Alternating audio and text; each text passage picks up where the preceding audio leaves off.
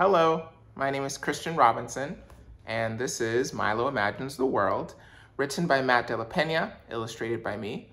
Milo is a young artist who's on a subway ride, and he has a little sketchbook, and in his sketchbook, he's drawing the lives of the people around him. He's imagining what their lives might look like. He's doing what we all do when we meet strangers. Um, but this book also kind of challenges us to think differently, to second guess those quick judgments that we make about people. Um, you can check this book out at SFPL or buy it at your local indie bookstore. I hope you enjoy reading it. Thank you. Bye.